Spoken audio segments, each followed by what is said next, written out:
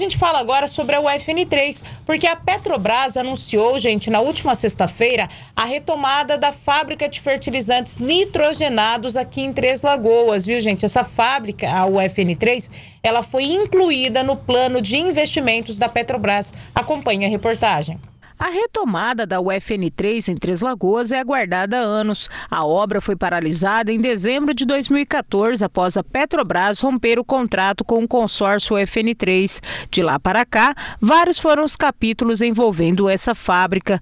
No início deste mês, estava prevista uma visita técnica de representantes do governo federal e da Petrobras às instalações da fábrica, mas devido à necessidade de aguardar a divulgação do plano, foi adiada e deve ser remarcada marcada para dezembro. A fábrica chegou a ser colocada à venda sem sucesso. Em agosto deste ano, durante o lançamento do novo PAC do governo federal, o presidente da Petrobras disse que a UFN3 seria incluída no plano de negócios da companhia em novembro. O secretário de Desenvolvimento Econômico do Estado, Jaime Verruc, comemorou o anúncio da retomada da fábrica. Temos uma excelente notícia para a economia sul-mato-grossense. Ontem, a Petrobras anunciou seu plano estratégico de investimentos. E o, mais importante desse plano é que foi anunciada, número um, a retomada da Petrobras para a área de fertilizantes. E número dois, a, o término e conclusão das obras da UFN3 no município de Três Lagoas. Durante todo o ano, o governador Eduardo Rida teve uma série de reuniões com o presidente da Petrobras para que fizesse uma discussão da continuidade dessa obra. O Brasil tomou a decisão de, de, eh, reduzir a sua dependência em importação de fertilizantes. E a UFN3, a Petrobras colocou isso dentro da sua estratégia e anuncia no seu plano de investimentos, que é de mais de 102 bilhões de investimentos para o Brasil, a conclusão da UFN3. Então, essa é uma notícia importante para Mato Grosso do Sul.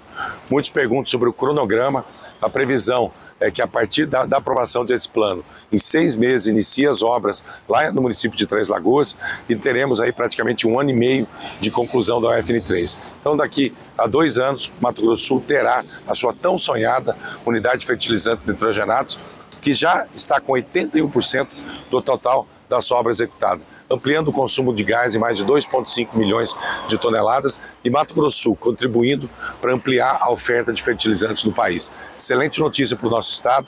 O FN3, no plano estratégico da Petrobras, anunciado ontem ao mercado e buscando a conclusão das obras num período extremamente curto, importante para a nossa economia. A UFN3, quando concluída, terá um papel fundamental na redução da dependência brasileira em 15% dos nitrogenados, contribuindo para a autonomia nacional no setor de fertilizantes.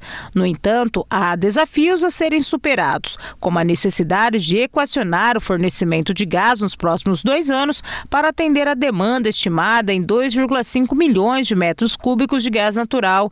Na sexta-feira, em coletiva à imprensa, os diretores diretores e presidente da Petrobras falaram sobre o plano de investimento e retomada da fábrica. Três Lagoas, nós temos um cronograma, depois se quiser projetar aí, eu não achei aqui minha fichinha, mas enfim. É, a intenção também é colocar, finalizar a obra. Né? A forma que isso vai ser feito é, pode, se, pode variar. A gente conversou, por exemplo, quando estava na China, com parceiros que têm interesse em finalizar e se tornarem sócios. Pode acontecer isso, pode acontecer da gente terminar nós mesmos e depois trazer sócios.